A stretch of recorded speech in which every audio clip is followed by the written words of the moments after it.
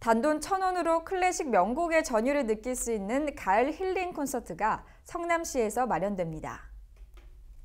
성남시립합창단은 오는 11월 8일 오후 8시 성남 아트센터 콘서트홀에서 제119회 정기 연주회를 엽니다.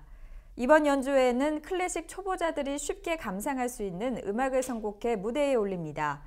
연주회 1부에서는 존 루터의 명클래식 합창곡을 만나볼 수 있고 2부 무대에서는 순수한 목소리로만 연주하는 아카펠라 앙상블의 향연이 펼쳐집니다. 이번 연주회는 7세 이상 관람할 수 있습니다.